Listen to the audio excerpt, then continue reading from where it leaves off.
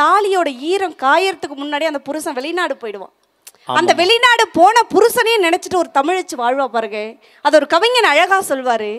உழுதவன் கணக்கு பார்த்தா உழைப்பு கூட மிஞ்சாதுன்னு புழுதியை தட்டிட்டு புறப்படுற வெளிநாடுன்னு சொன்னீங்க. கூழோ கஞ்சியோ கூடி இருப்போம்னு நான் அழுதேன். அழகிய நிறுத்து புள்ளன்னு அடுக்குனீங்க வசனத்தை.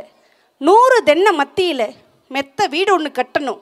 பக்கத்தில் படகு கார் ஒன்று நிற்கணும் கடகண்ணி வச்சு காசு பணம் சேர்க்கணும். நூறு பவுனோட ஓடி வரேன் பாரு புள்ளன்னு புறப்பட்டீங்க.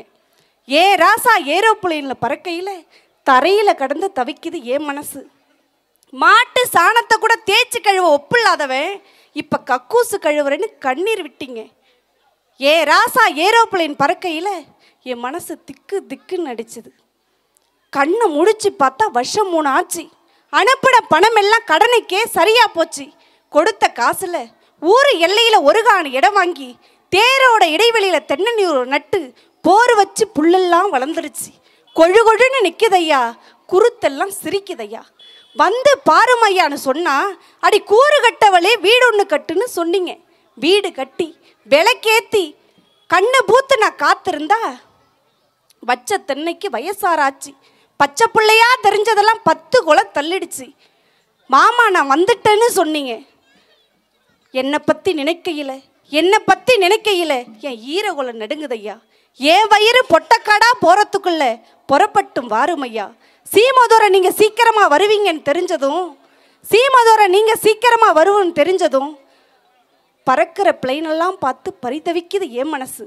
இன்னைக்கு ஏராசா நீங்கள் வரீங்கன்னு தெரிஞ்சதும் சென்னைக்கு புறப்பட்டு நான் வந்தேன். ஏரோப்ளைன் வந்துருச்சுன்னு எல்லாரும் வந்தாங்க. எக்கி எக்கி பார்க்கையில் திக்கு திக்குடுச்சு. தூரத்தில் வர்றது என் துரதான்னு நினச்சி திகச்சு நான் நிற்கையில் தேன்மொழின்னு கூப்பிட்டீங்க. வயசை விற்று வாங்கிட்டு வந்தது நினச்சி நான் அடறது தெரியாமல் அத்தா நான் வந்துட்டேன்னு ஆறுதல் சொன்னீங்க.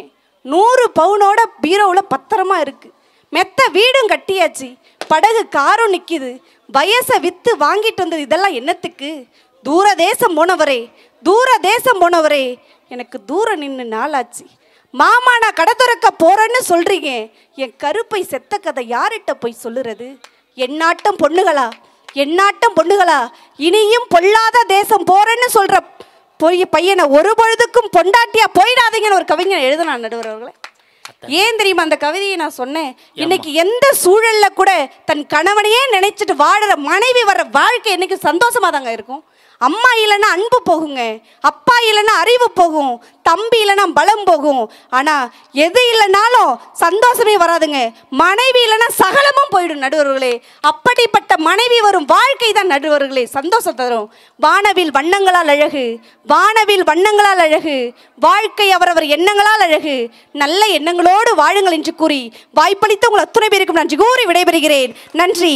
வணக்கம். இந்த தகவல் உங்களுக்கு பிடிச்சிருந்தா லைக் பண்ணுங்க. உங்க ஃப்ரெண்ட்ஸுக்கு ஷேர் பண்ணுங்க. மறக்காம எங்க சேனலுக்கு சப்ஸ்கிரைப் பண்ணுங்க.